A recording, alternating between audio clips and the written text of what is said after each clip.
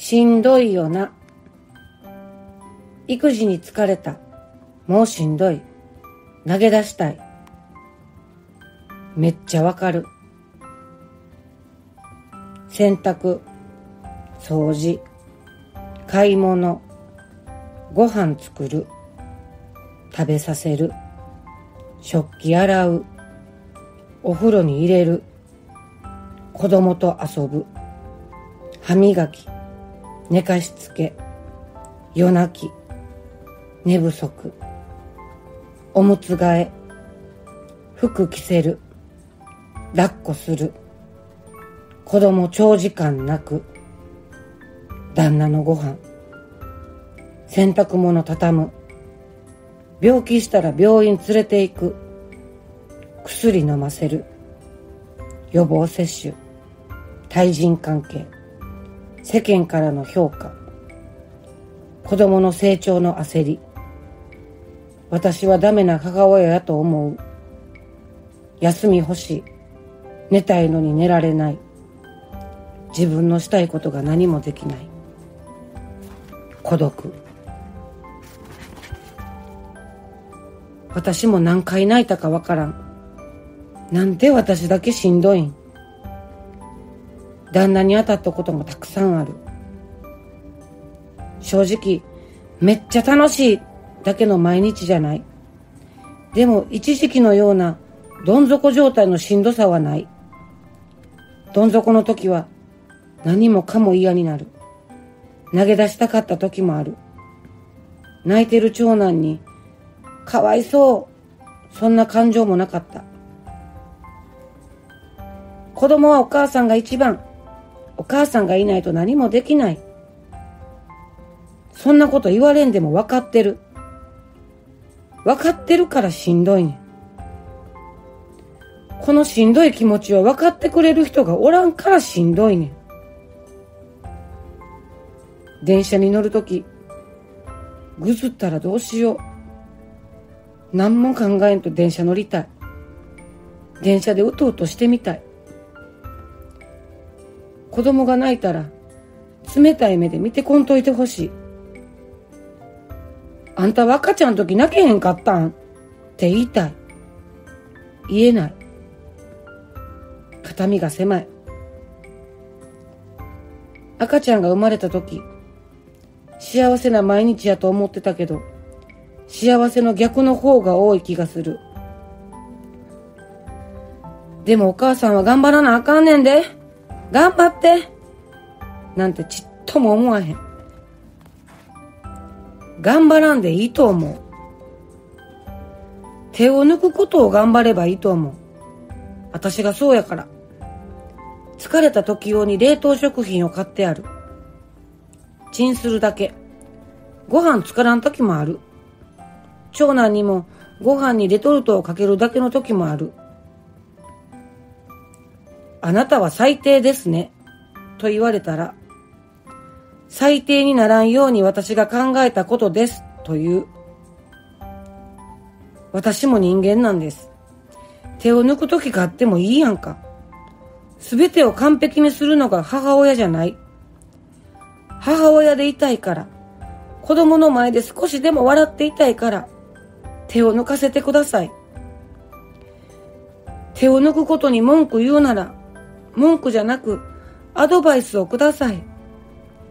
何か少しでも手伝ってください。育児は一人じゃできません。近くの人間の協力、地域の協力が必要です。今、どん底にしんどいママさん。お風呂の時、すぐ体洗わんと、裸で裸の子供を抱きしめてみてください。鏡の前で抱きしめてみてください。私は辛い時、今でもこうしています。初めて抱っこした時を思い出しています。ぜひ、今夜やってみてね。はい。これがですね、2012年7月3日にアメブロに掲載したしんどいよなという、そしてそれが後に「あなたが生まれてから」というマイナビさんから発売された本にも収録されている内容になるんですがこれを私がこれを書くきっかけになった出来事があってそれは何かというと、えー、メガネのママ友会っていうのを月に1回ずっとやっててで、えー、これを書いたのがだいたい長男が2歳になる前ぐらいなんですよね。1歳7ヶ月ぐらいかな1歳8ヶ月。で次男がお腹にいる時やねんけどでその時に、えー、月1でやってるメガネのママ友会があってでそれが無事に終わってで終わった後にもこう来てくださったママさんがちょっと残って喋ったりするっていうのがあったんだけど俺その時にそのママがねあの急にすっごい声出して泣いて。それが私がその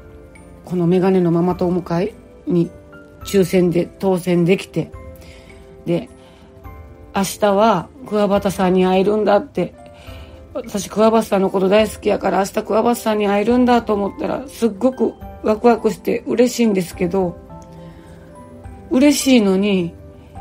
もう育児がしんどくて昨日夜一人でずっと泣いてたんです。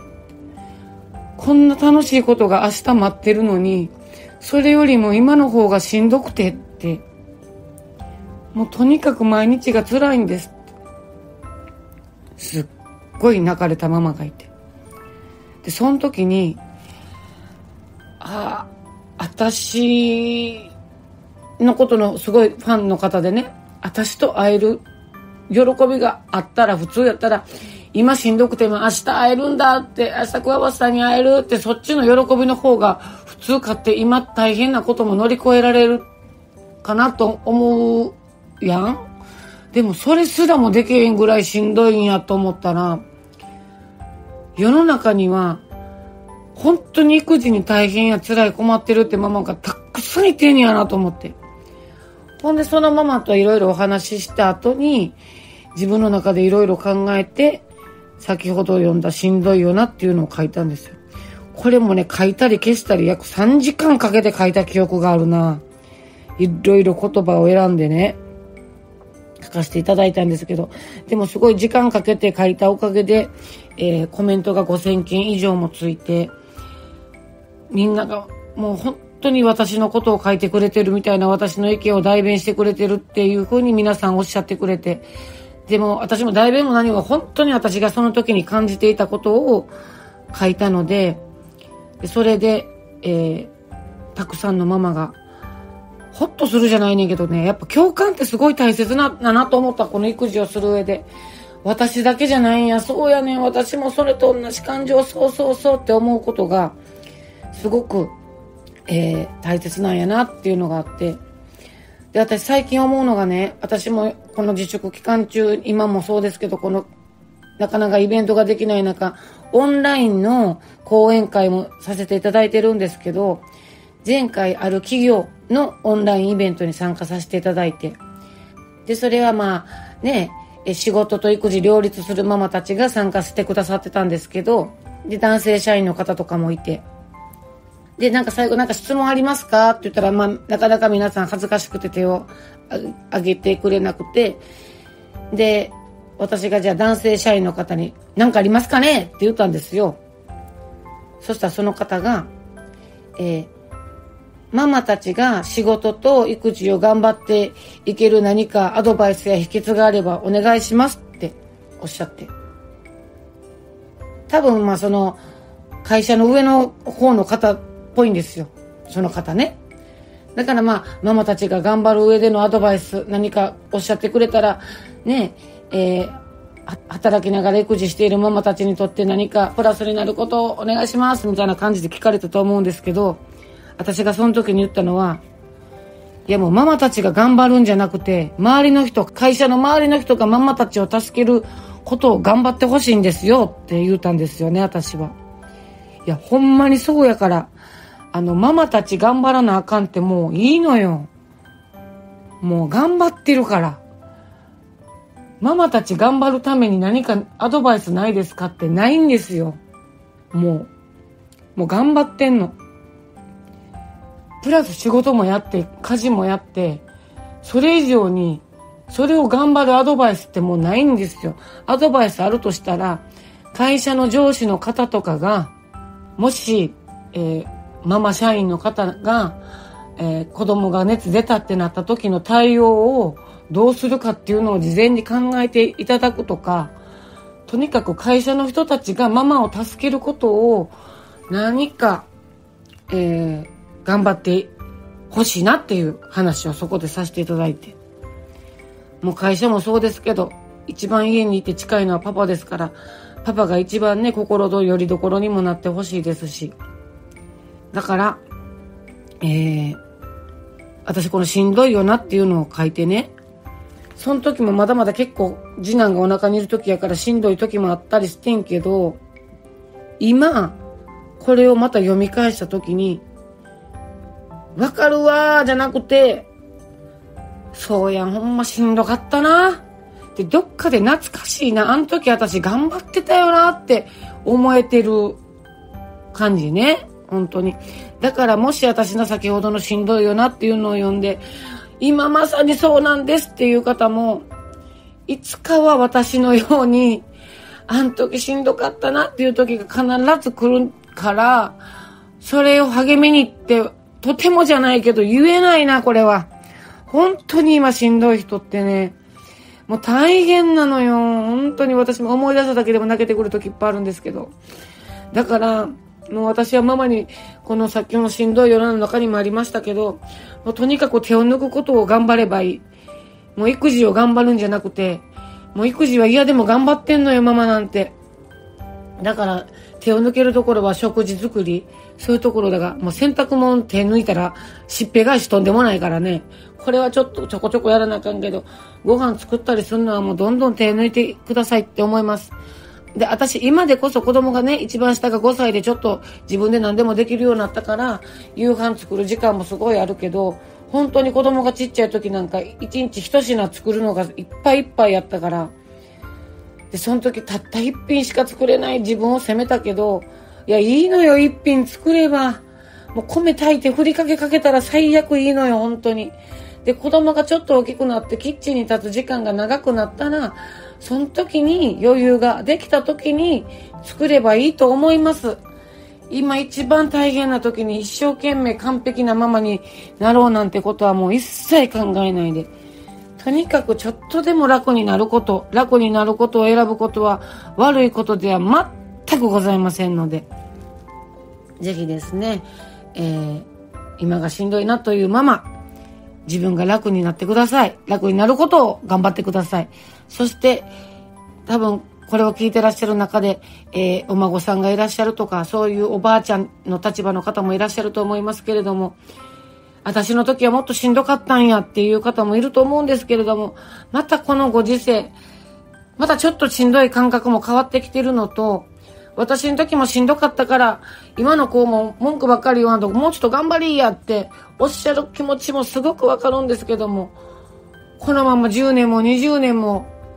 お母さんはずっとしんどいことを耐えながら育児していかなあかんのかなって。私このしんどいよなっていうのを書いたのがちょうど約10年前、9年前になるんですよ。9年前も書いて、今も同じことを思ってるママがいると思うと、この10年何も変わってんのかなって本当に悲しくなるんですけれども、えー、なんかですね、あの、ママが楽しくって、また本当に赤ちゃんがちっちゃい時大変やね。寝不足が一番の敵ですから。でも、もうなんか別にやらないことが悪いことじゃないっていうことを思っていただいて、そしてパパにももしよかったらこれを聞いてもらってください。パパにも、えー、いろいろ精神的にもいろんなことを助けていただけたらなと思います。グッドボタン、チャンネル登録、通知ボタン、ベルマークも押してねまた見てね。お父さん